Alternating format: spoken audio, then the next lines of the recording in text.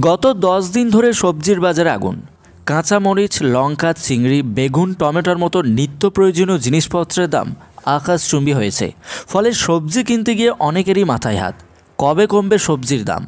ইতিমধ্যেই এই প্রশ্ন উঠতে শুরু করেছে। কিন্তু তার আগে জানতে হবে, সবজির দাম কেন এত বাড়ছে? বাজারে বিক্রেতারা জানাচ্ছেন, সবজির দাম বাড়ার প্রধান কারণ আবহাওয়ার পরিবর্তন। অতিরিক্ত তাপপ্রবাহ সঠিক সময়ে বৃষ্টি না হওয়ায় সবজির উৎপাদন পর্যাপ্ত পরিমাণে হয়নি। ফলে সবজির দাম বেড়েছে। কর্ণাটকের সবজির আকাশ ছোঁয়া দামের কারণ হিসাবে অনেকেই অতিরিক্ত বৃষ্টিকে দায়ী করেছেন।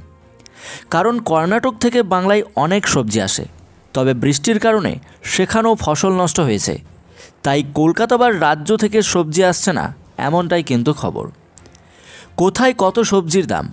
কলকাতায় প্রায় সব বাজারেই টমেটোর প্রতি কেজির দাম একশো দশ থেকে একশো কুড়ি টাকা। বেগুনের দাম আশি থেকে একশো টাকা। পটল বিক্রি হচ্ছে আশি টাকায়। যদিও পাইকারি বাজারে এই সব সবজির দাম খুবই কম। তবে সাধারণত ক্রেতারা সেখান থেকে সরাসরি সবজি কিনতে পারছেন না। এদিকে এই সবজির দাম পর্যবেক্ষণের জন্য রাজ্য সরকার একটি টাস্ক ফোর্স গঠন করেছে। টাস্ক ফোর্স মনে করে টমেটো বাইরে থেকে আসে। বাইরে দাম কমলে এখানেও কমবে। বর্ষা যোগাযোগ ব্যবস্থা ভোট গ্রহণ সব মিলিয়ে দাম এখন চড়া। তবে দাম বাড়ার কারণ হিসাবে প্রশাসনকে দায়ী করছে কেউ কেউ। তবে স্পষ্ট অভিযোগ, পুলিশের দৌরাত্ম্য বন্ধ হলেই দাম কমে যাবে।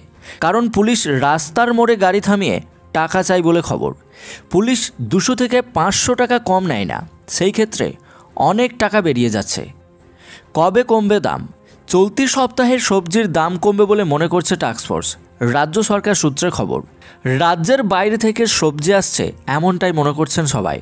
আগামী কয়েকদিন সবজির দাম আরও কমবে, তবে আগামী দু একদিনের মধ্যেই সবজির দাম কুড়ি থেকে তিরিশ শতাংশ কমতে পারে, এমনটাই কিন্তু খবর। তো এই দাম বাড়ার পিছনে আসল কারণ কি?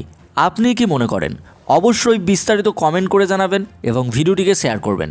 আর এই ধরনের লেটাস্ট্যান্ডিং আপডেট সবার প্রথম পাওয়ার জন্য চ্যানেলটিকে সাবস্ক্রাইব করে পাশে বেলাইকনটি প্রেস করে অল নোটিফিকেশনটিকে ক্লিক করে আমাদের সঙ্গে থাকবেন।